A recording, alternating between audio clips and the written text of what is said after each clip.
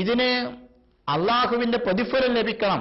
അവൻ തന്നോട് കൽപ്പിച്ചൊരു വിവാദത്തിന്റെ ഭാഗമായിട്ടാണ് ഇത് നിർവഹിക്കുന്നത് എന്ന ബോധത്തോടുകൂടി ആത്മാർത്ഥതയോടുകൂടി നിഷ്കളങ്കതയോടുകൂടി ആയിരിക്കണം അവൻ ഈ സഹി നിർവഹിക്കേണ്ടത്. സഹി നിർവഹിക്കുമ്പോൾ നേരത്തെ തവാഫിൽ പറഞ്ഞതുപോലെ വധു സഹിന് നിർബന്ധമില്ല. അക്കാര്യം നമുക്കറിയാവുന്നതാണ്. ഇങ്ങനെ അവന്റെ സഫ മറവക്കിടയിലുള്ള സഹി അത് അവസാനിക്കുന്നത് മറവയിലായിരിക്കും എന്ന് നമുക്കറിയാം. സഫയിൽ തുടങ്ങി. അവന്റെ ഏഴാമത്തെ ചുറ്റ് അത് അവസാനിക്കുന്നത് മറവയിലായിരിക്കും. മറവയിൽ അവസാനിച്ചു കഴിഞ്ഞാൽ പിന്നെ അവൻ എന്താണ് ചെയ്യാനുള്ളത് എന്നുള്ളതാണ്. സായി മറവയിൽ അവസാനിച്ചു കഴിഞ്ഞാൽ പിന്നെ അവന് മുടിമുണ്ടനം ചെയ്യുകയാണ്. മുടിമുണ്ടനം ചെയ്യുക എന്ന് പറയുമ്പോൾ അതാണ് ഏറ്റവും ശ്രേഷ്ഠമായിട്ടുള്ളത്. എന്നാൽ തലമുടി വെട്ടുന്നതും അനുവദനീയമാണ്. പക്ഷേ നബിസല്ലാഹു അലൈഹി വസല്ലമ തന്റെ സഹാബികൾക്ക് മുമ്പിൽ ഈ മുടി മുണ്ടനം ചെയ്ത ആളുകൾക്ക് വേണ്ടി മൂന്ന് പ്രാവശ്യം പ്രാർത്ഥിക്കുകയുണ്ടായി. എന്നാൽ നാലാമത്തെ പ്രാവശ്യമാണ് മുടി വെട്ടിയവർക്ക് പ്രാർത്ഥിച്ചത് എന്നും കാണാൻ കഴിയും. ഇതിൽ നിന്ന് ഒരു കാര്യം വ്യക്തമാണ്. മുടി മുണ്ടനം ചെയ്യുന്നതാണ് ഏറ്റവും ശ്രേഷ്ഠമായ കാര്യമെന്നും അതാണ് നമ്മൾ നിർവഹിക്കേണ്ടത് എന്നും. ഇത് പുരുഷന്മാരെ സംബന്ധിച്ചാണ് പറയുന്നത്.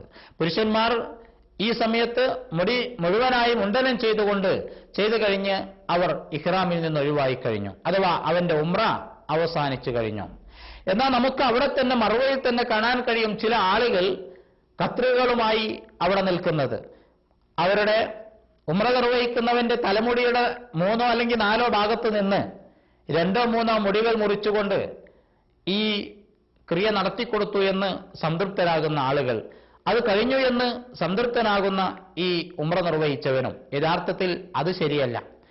അതുകൊണ്ട് അവന്റെ ഉമ്ര മ- അവന്റെ ഉമ്ര അപൂർണമായിരിക്കുമെന്ന കാര്യം അവൻ ഓർക്കേണ്ടതുണ്ട്. കാരണം നബിസല്ല നമുക്കറിയാം ഭാഷാപരമായിട്ട് പോലും മുടി മുണ്ടനം ചെയ്യുക മുടി മുറിക്കുക എന്നൊക്കെ പറഞ്ഞാൽ അത് അവിടെ നിന്നും ഇവിടെ നിന്നും ഒന്നോ രണ്ടോ മുടികൾ മുറിച്ച് അതിൽ ഉപായം കണ്ടെത്തലല്ല.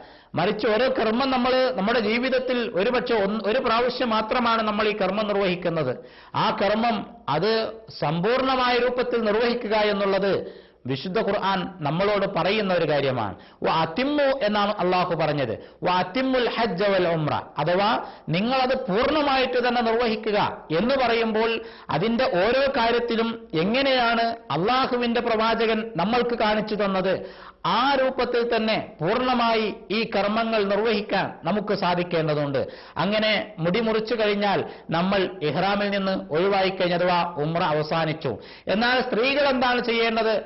അവരുടെ മുഴുവൻ മുടിയും പിന്നിലേക്ക് പിടിച്ച് അതിന്റെ അഗ്രഭാഗത്ത് നിന്ന് ഏകദേശം ഒരിഞ്ച് വരുന്ന രൂപത്തിൽ അതിന്റെ അഗ്രഭാഗം അല്ലെങ്കിൽ അവസാന ഭാഗത്ത് നിന്ന് മുറിച്ചു കളയുകയാണ് വേണ്ടത്. ഇതോടെ സ്ത്രീകളും അവരുടെ ഇഹ്റാമിൽ നിന്ന് മുക്തരായി കഴിഞ്ഞു. ഇതോടെ അവർ നമ്മുടെ ഉമ്ര അവസാനിച്ചു കഴിഞ്ഞു. ഇതാണ് നബിസല്ലാഹു അലൈഹി വസല്ലമയുടെ ഉമ്രയുടെ രൂപമായി ഹദീസുകളിൽ വന്നതിന്റെ പൂർണമായ രൂപം. ഈ രൂപത്തിൽ തന്നെ ഈ കർമ്മം നിർവഹിക്കുവാൻ നമ്മൾക്ക് സാധിക്കേണ്ടതുണ്ട്. അങ്ങനെ ഈ കർമ്മം നിർവഹിക്കുമ്പോൾ മാത്രമേ അള്ളാഹു നമ്മളിൽ നിന്നത് സ്വീകരിക്കുകയുള്ളൂ. അതുകൊണ്ട് തന്നെ വളരെ ആത്മാർത്ഥമായി നബിതിരുമയെ കാണിച്ചു തന്ന ഈ മാതൃകയിൽ നാം നമ്മുടെ ഉമ്രകർമ്മം നിർവഹിക്കുക. അവിടെ നമ്മൾ ചെല്ലുമ്പോൾ പല ആളുകളും വ്യത്യസ്തമായ നാടുകളിൽ നിന്ന് വന്ന ആളുകൾ ഭിന്ന രൂപത്തിൽ അവരുടെ കർമ്മങ്ങൾ ചെയ്യുന്നതായി കാണാം. പലപ്പോഴും ശരിയായി പഠിക്കാത്തവർ അവർ തന്റെ ഭൗതികമായ കാര്യങ്ങൾ ചെയ്യുന്നത് പോലെ തന്നെ മതപരമായ കാര്യങ്ങളും തന്റെ അഭീഷ്ടത്തിനനുസരിച്ച് നിർവഹിക്കുന്നതായി. ഒരുപക്ഷെ അവൻ നല്ല താടിയുള്ളവനും അതല്ലെങ്കിൽ നല്ല രൂപത്തിലുള്ള നല്ല രൂപ നല്ല രൂപമുള്ളവനായിരിക്കാം. പക്ഷേ ഇവിടെ അവൻ അറിവുള്ളവനാണ് എന്ന് തെറ്റിദ്ധരിച്ചുകൊണ്ട് അത്തരം അവിടെ കാണുന്നവരിൽ നിന്ന് നമ്മൾ മാതൃക സ്വീകരിക്കാതിരിക്കുക.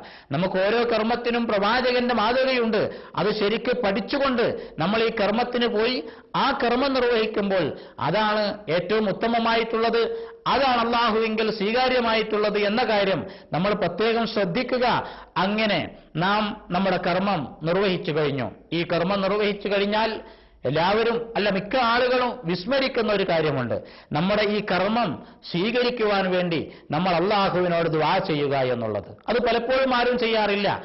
നബിസല്ലാഹു അലൈഹി വസല്ലമയും വിശുദ്ധ ഖുർആാനും നമുക്ക് ആ വിഷയത്തിൽ വളരെ വ്യക്തമായ ഒരു മാതൃകയാണ്. മഹാനായ ഇബ്രാഹിം നബി അലൈഹി സ്വലാത്തു വസ്സലാമിനോടും അദ്ദേഹത്തിന്റെ മകൻ ഇസ്മായിൽ നബി അലൈഹി സ്വലാത്തു വസ്സലാമിനോടും അള്ളാഹു ഈ കാബാലയം നിർമ്മിക്കുവാൻ വേണ്ടി അള്ളാഹുവാണ് കൽപ്പിച്ചത്. അള്ളാഹു തന്നെ പറയുന്നു ഇന്ന സ്ഥലത്ത് ആ കബാലയം നിർവി നിർമ്മിക്കുവാൻ വേണ്ടി നാം അവരോട് കൽപ്പിക്കുകയുണ്ടായി. അങ്ങനെ ഇബ്രാഹിം നബിയും അദ്ദേഹത്തിന്റെ മകനും ഈ കർമ്മം നിർവഹിച്ചതിന് ശേഷം നിങ്ങൾ നോക്കൂ ഖുർആൻ പറയുന്നു അവ രണ്ടിന്റെയും അടിത്തറകൾ നിർമ്മിച്ചതിന് ശേഷം അവർ അള്ളാഹുവിനോട് ഇങ്ങനെ ദുആ ചെയ്യുകയാണ്. റബ്ബന തഖബ്ബൽ മിന്ന ഇന്നൊക്കെ അന്ത സമീഉൽ അലീം. അള്ളാഹുവേ ഞങ്ങളിൽ നിന്നത് സ്വീകരിക്കണമേ. നീ എല്ലാം കേൾക്കുന്നവനും എല്ലാം അറിയുന്നവനുമാണല്ലോ എന്ന ആ പ്രാർത്ഥന വിശ്വാസികൾക്ക് എപ്പോഴും ഒരു പാഠമാണ്. നാം നമ്മുടെ ഒരു കർമ്മം നിർവഹിച്ചു കഴിഞ്ഞാൽ അതിന് പ്രതിഫലം ലഭിച്ചു എന്ന് ഉറപ്പാക്കി സംതൃപ്തരാകുന്നതിന് പകരം അത് അള്ളാഹുവിനോട് പ്രാർത്ഥിക്കുവാൻ വേണ്ടി പലപ്പോഴും വിശ്വാസികൾ വിസ്മരിച്ചു പോകുന്നു എന്ന ഒരു വസ്തുതയുണ്ട്. അതുകൊണ്ട് തന്നെ ഇത്രയും നേരത്തെ സൂചിപ്പിച്ചതുപോലെ ഇത്രയും ബുദ്ധിമുട്ടി ഇത്രയും പ്രയാസങ്ങൾ സഹിച്ച് സമ്പത്ത് ചെലവാക്കി ശരീര ആരോഗ്യവും സമയവും ചെലവഴിച്ച് നാം നിർവഹിക്കുന്ന ഈ കർമ്മം അള്ളാഹുവെ നീ സ്വീകരിക്കണമേ എന്ന് ദുആ ചെയ്യാൻ നമ്മൾ ഒരിക്കലും തന്നെ വിസ്മരിക്കരുത് എന്ന കാര്യം പ്രത്യേകം ശ്രദ്ധിക്കുക. ഈ കർമ്മത്തോടുകൂടി യഥാർത്ഥത്തിൽ അവന്റെ ഉമ്ര കർമ്മം കഴിഞ്ഞു. ഇതാണ് ഉമ്രയുടെ ലളിതമായ രൂപം എന്ന് നമ്മൾ മനസ്സിലാക്കുക. പിന്നെ ഉമ്രക്ക് തവാഫുൽ വിദാ ഉണ്ടോ എന്നുള്ളതാണ്. യഥാർത്ഥത്തിൽ ഉമ്രക്ക് തവാഫുൽ വിദായി ഇല്ല എന്നുള്ളതാണ് യാഥാർത്ഥ്യം. പക്ഷേ ചില ആളുകൾ അവർ അവിടെ പിന്നീട് താമസി പിന്നീട് വൈകുകയും അഥവാ മക്ക വിട്ടുപോകാൻ വൈകുന്ന സമയത്ത് എപ്പോഴാണോ അവൻ മക്ക വിട്ടുപോകുന്നത് ആ സമയത്ത് തവാഫുൽ വിദാഹ് അത് ചില പണ്ഡിതന്മാർ അത് ചെയ്യുന്ന അത് ചെയ്യുന്നത് സുന്നത്താണ് എന്ന് അഭിപ്രായപ്പെട്ടിട്ടുണ്ട്. പക്ഷേ നബിരുമേനി തവാഫുൽ വിദാഹ് നിർബന്ധമായി പറഞ്ഞത് അല്ലെങ്കിൽ വാജിബായി പറഞ്ഞത് ഹജ്ജിന്റെ വേളയിൽ മാത്രമാണ്. ഉംറയിൽ തവാഫുൽ വിദാഹ് സുന്നത്തില്ല എന്ന കാര്യവും നമ്മൾ മനസ്സിലാക്കുക. അങ്ങനെ അള്ളാഹു നമ്മുടെ ആ പ്രവാചകൻ നമ്മളെ പഠിപ്പിച്ചു തന്ന കാണിച്ചു തന്ന ആ രൂപത്തിൽ നമ്മുടെ എല്ലാ കർമ്മങ്ങളെയും പോലെ ഈ ഉമ്രകർമ്മവും നിർവഹിക്കുവാനും അതിൽ അള്ളാഹുവിന്റെ പൂർണമായ പ്രതിഫലം നമുക്ക് ലഭിക്കുകയും ചെയ്യുന്ന യഥാർത്ഥത്തിൽ ഉള്ള സത്യവിശ്വാസികളിൽ അള്ളാഹു നമ്മെ ഏവരെയും ഉൾപ്പെടുത്തുമാറാവട്ടെ. നമ്മളിൽ ഈ കർമ്മത്തിലും ഇതുപോലെയുള്ള കർമ്മങ്ങളിലും ഒക്കെ ഉണ്ടാകുന്ന എല്ലാ അബദ്ധങ്ങളും എല്ലാ വീഴ്ചകളും അള്ളാഹു നമ്മൾക്ക് പുറത്തു തരുമാറാവട്ടെ. അവനു നമ്മെയും എല്ലാ മുസ്ലിങ്ങളെയും അവന്റെ സ്വർഗത്തിൽ ഒരുമിച്ച് കൂട്ടുമാറാവട്ടെ. വാഹൃദ ആവാന അനിൽഹമുല്ലാഹി റബുല്ലാലമീൻ അസ്സലാമു അലൈക്കും വറഹ്മത്തുള്ളാഹി വബറകാതുഹു.